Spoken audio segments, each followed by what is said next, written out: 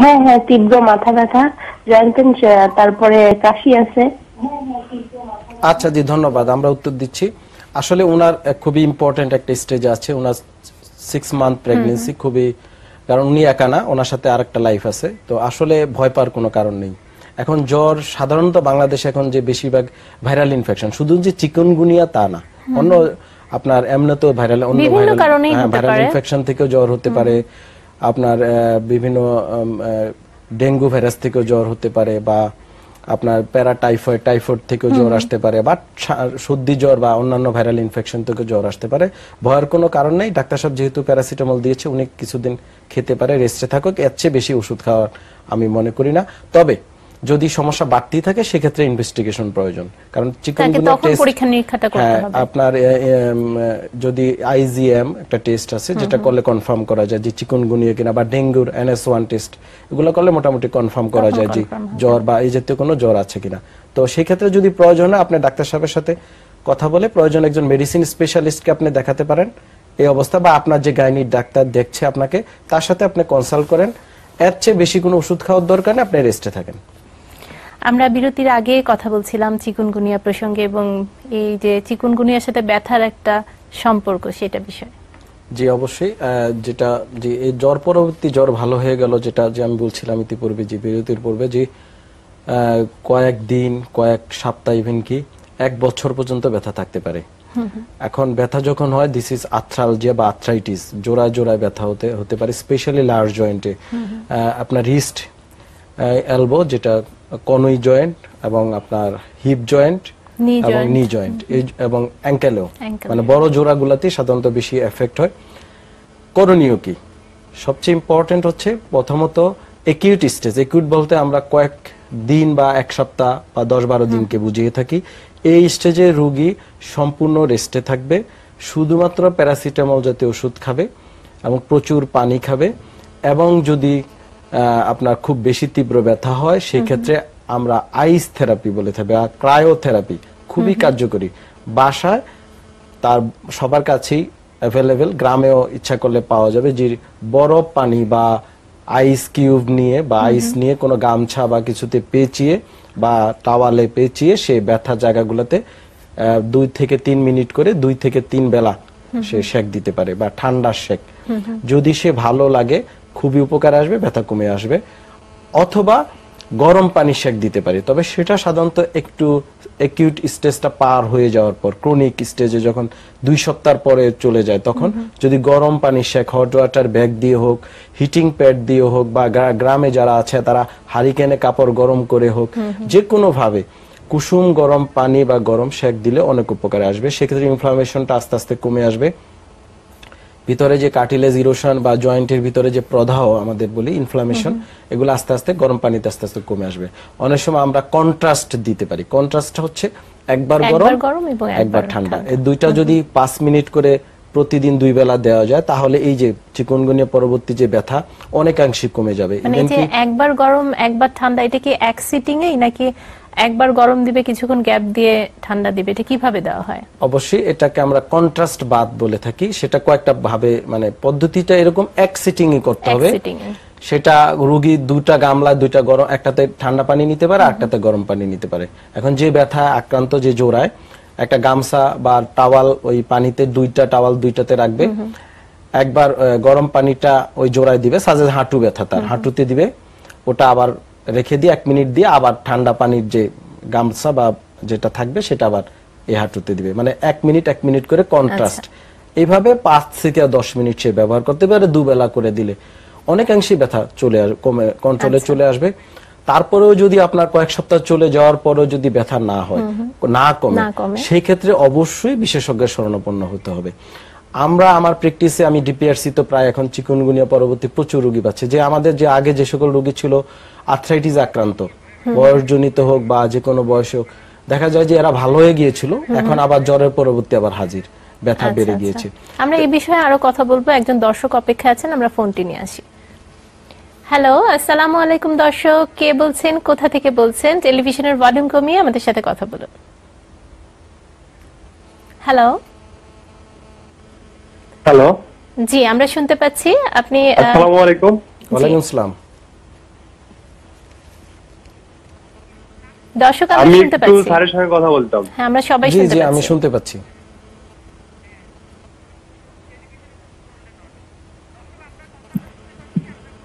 Hello আমরা আপনার কথা শুনতে পাচ্ছি। আপনি আপনার আসসালাম আমি শুনতে পাচ্ছি আপনি বলুন। আমরা শুনতে পাচ্ছি। হ্যালো আসসালামু আলাইকুম। ওয়ালাইকুম আসসালাম। হ্যালো? আমরা শুনতে পাচ্ছি দর্শক। আপনি আপনার সমস্যার কথা বলুন। হ্যালো? স্যার আমি তো বুঝতে পারছি না স্যার। আমরা শুনতে পাচ্ছি। আপনি কি আমার কথা শুনছেন? হ্যালো? দর্শক আহ, আমার মনে হয় একটু সমস্যা হচ্ছে লাইনটিতে কোথাও সমস্যা হচ্ছে। আপনি কষ্ট করে আরেকবার একটু চেষ্টা করুন। আমরা যে বিষয়ে কথা বলছিলাম। যে কন্ট্রাস্ট বাদ ব্যবহার করতে পারে যে তাহলে অনেকাংশে কমে যাবে। আর যদি এতেও ভালো না হয় বা ইমপ্রুভ না হয় তাহলে অবশ্যই বিশেষজ্ঞ শরণাপন্ন হতে হবে।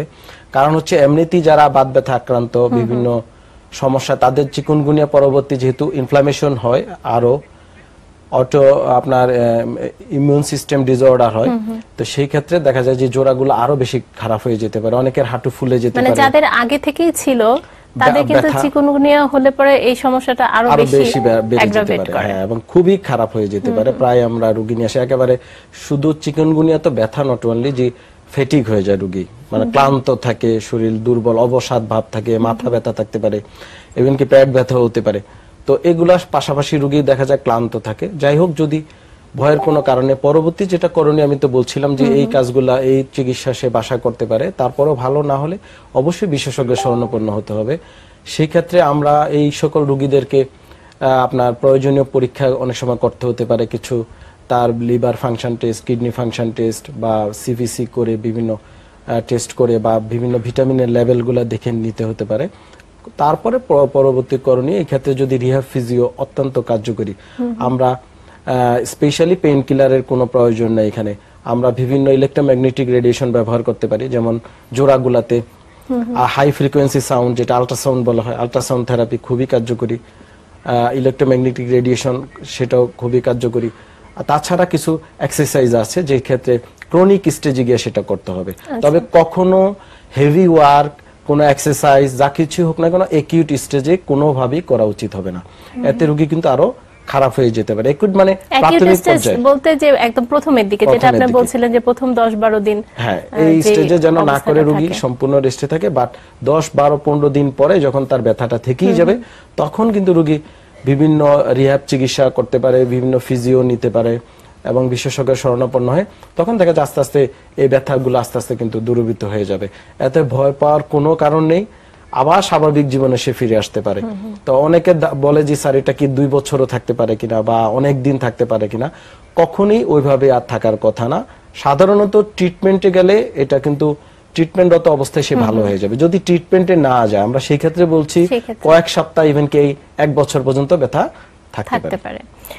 আমরা একটু ফেসবুক থেকে একটা প্রশ্ন নিব। ফেসবুক একজন দর্শক সংযুক্ত হয়েছেন। আমার বয়স সতেরো বছর। সুজন মাহমুদ লিখেছেন, আমার বয়স সতেরো বছর। আমার পিঠে ডি ফোর স্পাইনাল কর্ডে টিউমার হয়েছিল, অপারেশন হয়েছে। আগে আমি বসতে পারতাম না পায়খানা টের পেতাম না। এখন আমি বসতে পারি পায়খানা ঠিক পাই। পায়ে চিমটি কাটলে অন্যরকম অনুভূতি হয়। পা নাড়তে চাইলে ব্যথা হয়, বেশি নাড়াতে চাইলে ব্যথা হয় না। আমার ডান পায়ে কোমরে রড লাগানো আছে। এখন কি থেরাপি নেওয়া যাবে? ওনার কোশ্চেনটা খুবই সিমটোমেটিক যেটা হচ্ছে ওনার স্পাইনাল কর্ড টিউমার হয়েছিল মেরুদণ্ডের ভিতরে এবং ডরসাল ফোরে লেভেল তো সেই ক্ষেত্রে অপারেশন হয়েছে হয়েছে এবং ভিতরে রড স্ক্রু প্লেট ইমপ্ল্যান্ট লাগানো আছে। অপারেশন সার্জনরা করে থাকে কিন্তু স্পাইনাল কর্ডে যদি টিউমার হয় যেটা হয় যে প্যারাপ্লেজিয়া কোয়াড্রিপ্লেজিয়া জাতীয় সমস্যা হতে পারে। মানে যে অ্যাকর্ডিং টু লেভেল যদি কোমরে হয় দুই পা অবশ্যই হয়ে যেতে পারে। যদি ঘাড়ে হয় চার হাত পা হয়ে যেতে পারে। যদি পিঠে হয় সেক্ষেত্রে পিঠ থেকে নিচের অংশ প্যারালাইসিস হয়ে যেতে পারে যার কারণে উনি কিন্তু আগে প্রস্রাব ধরে রাখতে পারতো না বা পায়খানা সে পারসেপশন বা অনুভূতি বুঝতো না অটো হয়ে যেত।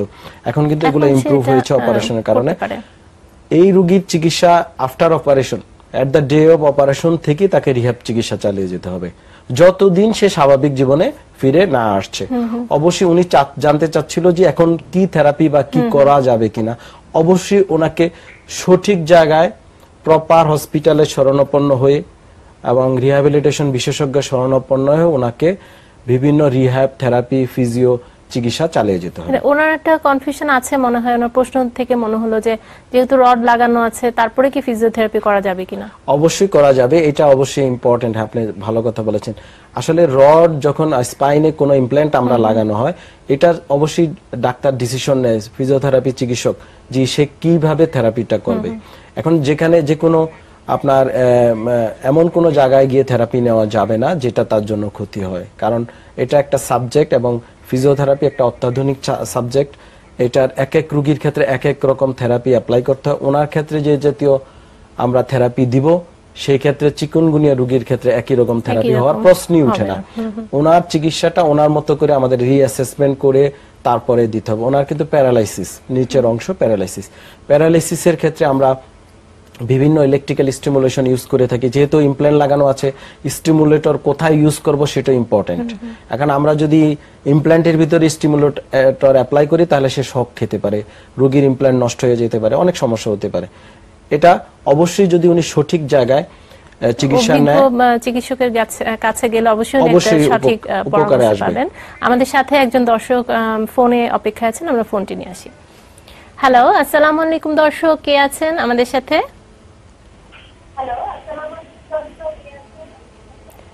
দর্শক আপনার টেলিভিশনের ভলিউম কমিয়ে আমাদের সাথে কথা বলুন।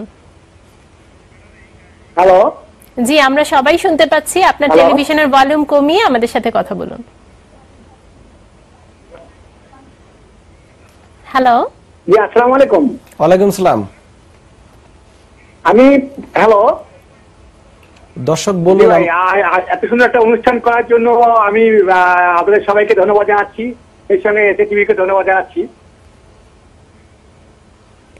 যে আপনার প্রশ্ন বলুন। আমার ডান হাতের ওই উরুতে ডান হাতের উপরে ডান হাতের উপরে একদম মানে গিটার আর কি হ্যাঁ। হাতের একদম মানে জয়েন্টে। আজকে প্রায় তিন চার মাস থেকে ব্যথা আর কি হ্যাঁ? সাত আট মাসে হয়ে গেল ব্যথাটা যাচ্ছে না আর কি। তো এটা মেজর কোনো রাত্রেবেলা শুইলে ঘুম থেকে ওঠার পরে ব্যথাটা বেড়ে যায় আবার সারাদিন কাজকর্ম করলে ব্যথা চলে যায়। আপনার বয়স কত?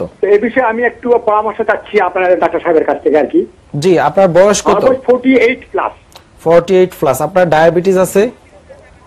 ফোর্টি এইট প্লাস জি আপনার কি ডায়াবেটিস আছে? ডায়াবেটিস সিক্স পয়েন্ট ছিল। আমি ডায়াবেটিস কন্ট্রোলে আনছিলাম এখন ডায়াবেটিস একটু আছে। ওষুধ খেতে হয় ডায়াবেটিসের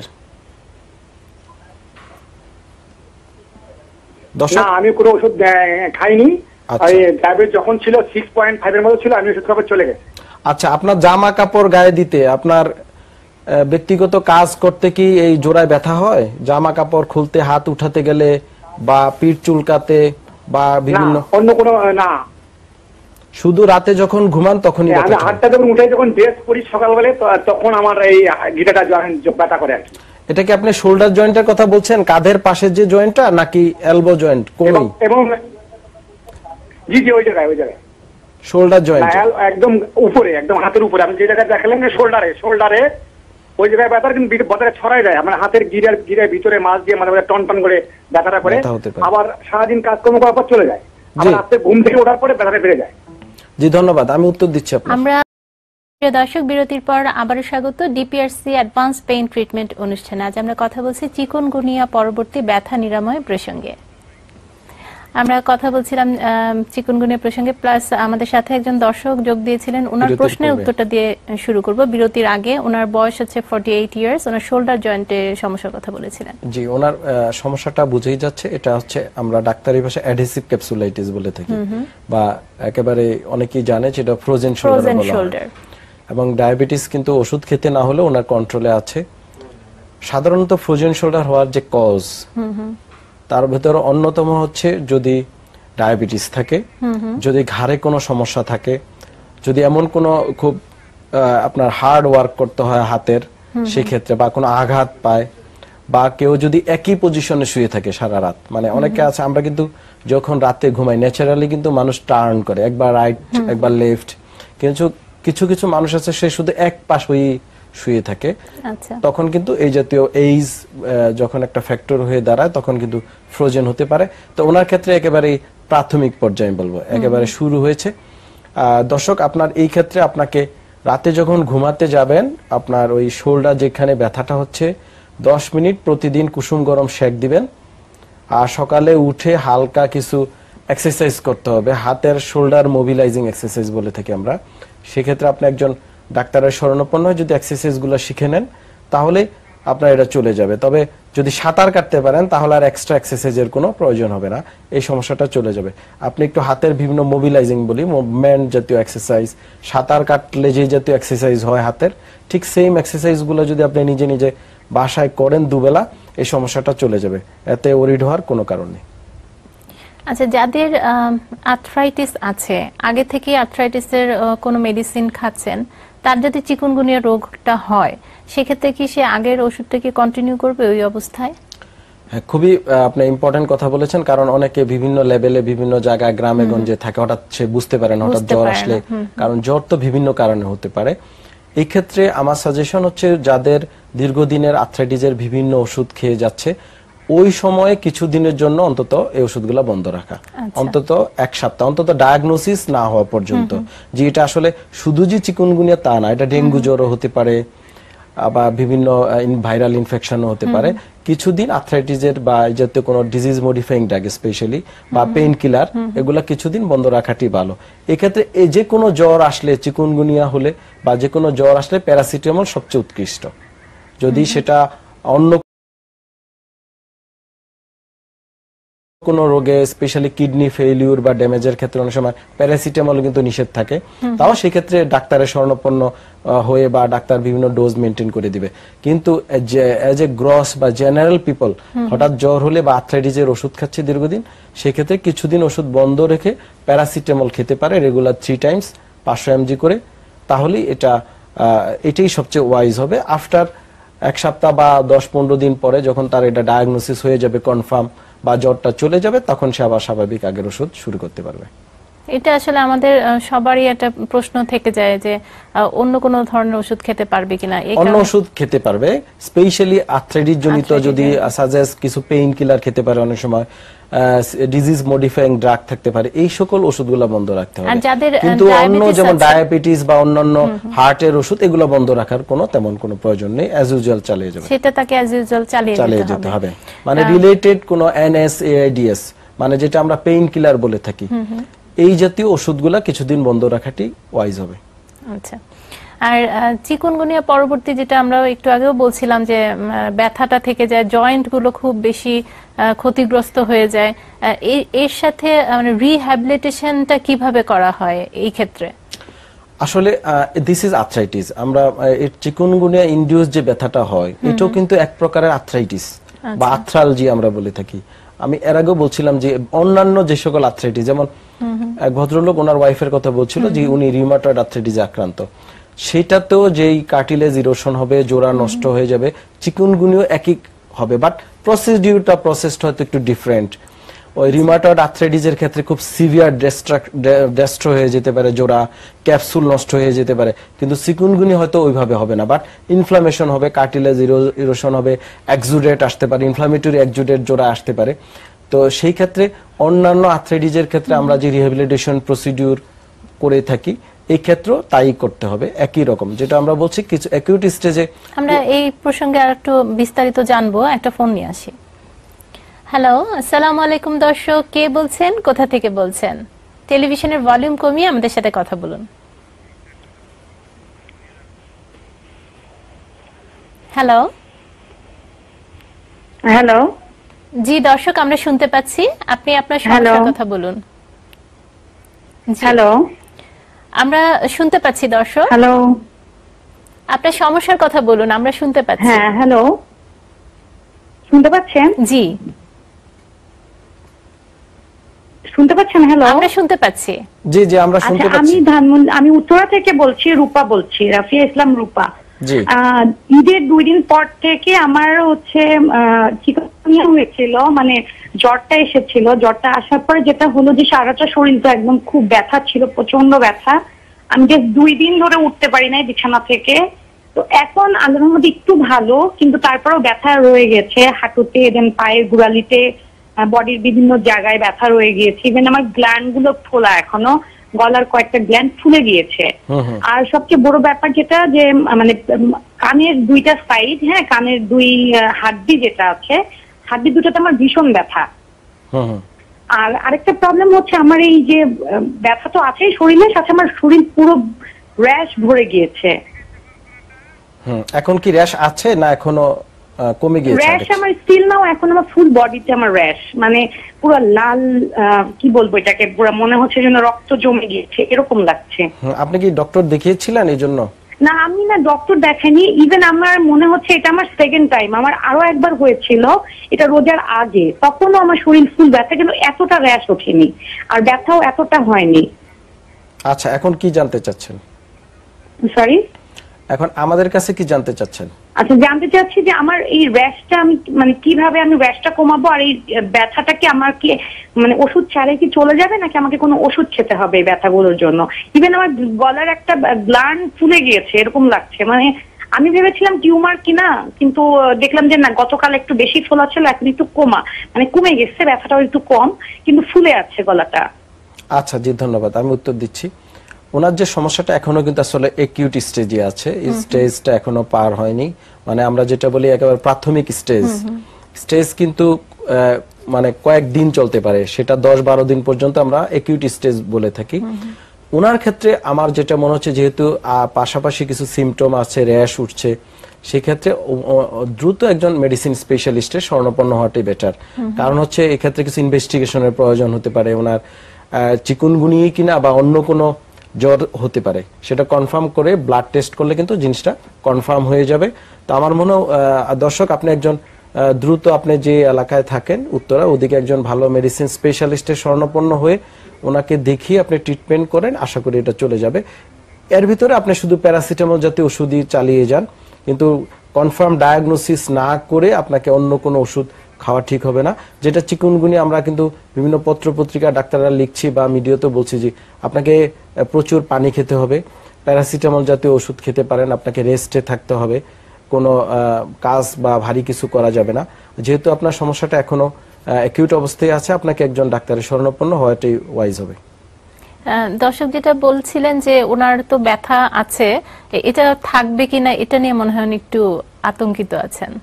না অবশ্যই যদি আমরা বলছি চিকুনগুনিয়ার ক্ষেত্রে সেটা কয়েক সপ্তাহ থেকে প্রায় বছর খানিক পর্যন্ত পেইন থাকতে পারে। এটা এক এক রুগীর ক্ষেত্রে এক এক রকম। কারও হয়তো কয়েক সপ্তাহের ভিতরে সে ভালো হয়ে যেতে পারে কে এক মাস পরে ভালো হয়ে যেতে পারে। যা কিছু হোক না কেন যদি ব্যথা পারসিস্টেন্ট থেকেই যায় তাহলে অবশ্যই বিশেষজ্ঞ স্বর্ণাপন্ন হবে। ট্রিটমেন্ট দিলে অবশ্যই স্বাভাবিক হ্যাঁ জীবনে এটাই আর কি সবচেয়ে বড় কথা যে ট্রিটমেন্টটা তাকে কিন্তু তার জ্বর ভালো ভালো হয়ে যাওয়ার পরেও যখন ব্যথা থেকে যাচ্ছে তখন কিন্তু তার ট্রিটমেন্টটা করতে হবে। অবশ্যই ট্রিটমেন্টে যেতে হবে। এই নয় যে যে চিকুনগুনিয়া হয়েছে বা এই জাতীয় আর্থ্রাইটিস হয়েছে ব্যথা হয়েছে এটা আর জীবনও ভালো হবে না। চিকিৎসা দিলেও ভালো হবে না। কিন্তু তা কিন্তু আমরা কোনো ডাক্তাররা কখনো কোথাও বলছি না। আমরা জাস্ট রুগীদেরকে যে সতর্ক করা মাস পিপলকে এডুকেশন দেওয়া শুধু তো এটা এটা না এডুকেশন যেন এটা প্রিভেনশনও ইম্পর্টেন্ট প্রিভেনশনটা তো খুবই মশার ইম্পর্টেন্ট কামড় এটা যেন প্রিভেন্টেবল হ্যাঁ, preventable। প্রিভেনশনটা এখানে খুবই ইম্পর্টেন্ট তো প্রিভেনশনের জন্য আমরা কি করতে পারি? যেহেতু এই এটা মোটামুটি আপনার মশা বাহিত রোগ সেই সেহেতু বারবার এমনকি গভর্নমেন্ট বিভিন্ন পত্র পত্রিকা বারবার জানিয়ে দিচ্ছে মিডিয়ার মাধ্যমে যে মশা আমাদেরকে নিধন করতে হবে। সেটা হচ্ছে মশা লার্ভা যেন অতিরিক্ত প্রোডাকশন না হয় সেই ক্ষেত্রে বাড়ির আনাচে কানাচে যে এখন বৃষ্টি হচ্ছে পানি জমে থাকে সেখানে সে প্রোডাকশন হতে পারে ড্রেনে হতে পারে। আমরা আমাদের চারপাশে যত পরিবেশ আছে আমরা সবাই মিলে যদি পরিষ্কার রাখতে পারি তাহলে কিন্তু অনেকাংশেই মশার যে তীব্রতাটা এটা কমে যাবে। আর স্পেশালি বাচ্চাদের হোক আবার সবাইকেই। আমরা যখন বাহিরে যাই বা যে সকল জায়গায় মশার কামড় খাওয়ার সম্ভাবনা বেশি সেক্ষেত্রে ওয়্যার মানে ক্লথ যেন আমরা ফুল ওয়্যার করে নেই এক্সপোজ জায়গাগুলো যেন না থাকে। এটা আমাদেরকে চিন্তায় রাখতে হবে এবং প্রতিরোধ নিয়ে আরও কথা বলব একটা ফোন নিয়ে আসি। হ্যালো আসসালামু আলাইকুম দর্শক কে বলছেন কোথা থেকে বলছেন ভলিউম কমিয়ে কথা বলুন। আমি ঢাকা থেকে কাঁঠাল থেকে বলছি। জি। আমি একটু ডাক্তার সাহেবের সঙ্গে কথা বলতে চাচ্ছি। আমরা সবাই শুনতে পাচ্ছি। আচ্ছা হ্যালো হ্যালো জি আমরা শুনতে পাচ্ছি। আপনি আপনার সমস্যার কথা বলুন। আমি বিপ্লব ঢাকা থেকে বলছি হ্যাঁ, আমার ওয়াইফের গত পনেরো বিশ রোজা থেকে চিকুনগুনিয়া হয়েছিল। চিকুনগুনিয়া হয়েছিল।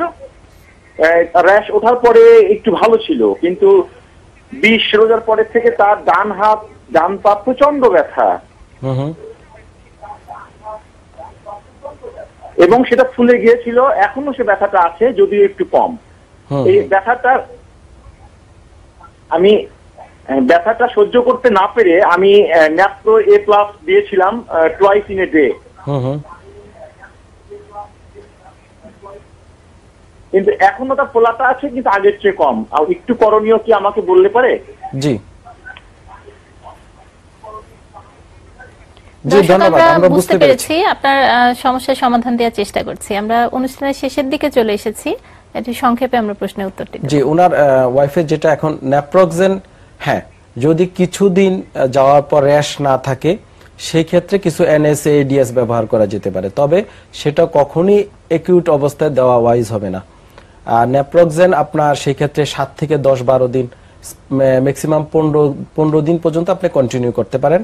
তারপরেও যদি ভালো না হয় বা ব্যথা থেকে যায়, আপনাকে বিশেষজ্ঞ শরণাপন্ন হয়ে রিহ্যাব ফিজিও চিকিৎসায় যেতে হবে। সেই ক্ষেত্রে বিভিন্ন ইলেকট্রোথেরাপি প্রয়োজন হতে পারে, বিভিন্ন এক্সারসাইজের প্রয়োজন হতে পারে। আশা করি আপনি বুঝতে পেরেছেন। আমরা যেটা বলছিলাম যে চিকনগুনিয়া প্রতিরোধের জন্য আমাদের কি কি করা উচিত? অবশ্যই যেটা আমরা যেন আমরা স্পেশালি বাচ্চারা বাচ্চারা কিন্তু আমাদের মতো না বাচ্চারা জানেও না তাদের ড্রেস চেঞ্জ করতে হয় বারবার।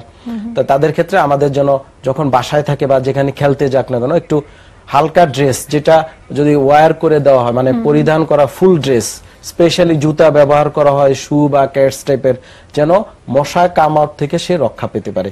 এটা কিন্তু আমাদের পার্টিকুলারলি মশারি ইউজ করা উচিত রাতে। অবশ্যই এবং দিনের বেলা যারা ঘুমায় বা বাচ্চারা বাসায় থাকে তাদেরকে অবশ্যই মশারি ব্যবহার করতে হবে।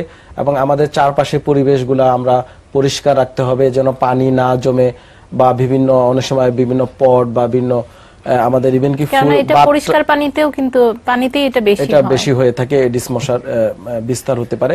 এগুলো আমাদের পরিষ্কার রাখলে আমরা প্রিভেনশনই করতে পারি। যেহেতু প্রিভেনশন করে ফেললে তাহলে কারণ ইনফেকশন যখন রুগী মশা আক্রান্ত কামড় দেয় তখনই ইনফেকশনটা হয়। এর আগে কিন্তু হয় না। তো আমরা মশার কামড় থেকে যদি আমরা নিজেদের রক্ষা করতে পারি। তাহলে কি এটা কিন্তু আর ওভাবে ছড়াবে না। আমাদের মোস্ট অফ দা পিপল আমরা ভালো থাকতে পারব অন্তত চিকুনগুনিয়া থেকে। আমরা অনুষ্ঠানের একেবারেই শেষ প্রান্তে চলে এসেছি। আপনাকে অসংখ্য ধন্যবাদ জানাচ্ছি আমাদেরকে সময় দেওয়ার জন্য। আপনাকেও ধন্যবাদ। এসএ টিভির সকল দর্শকদেরকে অসংখ্য ধন্যবাদ। প্রিয় দর্শক এই ছিল আমাদের আজকের আয়োজনে। দেখা হবে আগামী পর্বে। আর অনুষ্ঠানটি পুনঃপ্রচার করা হবে বৃহস্পতিবার রাত দুটায়। সবাই ভালো থাকুন সুস্থ থাকুন সুন্দর থাকুন। আল্লাহ হাফেজ।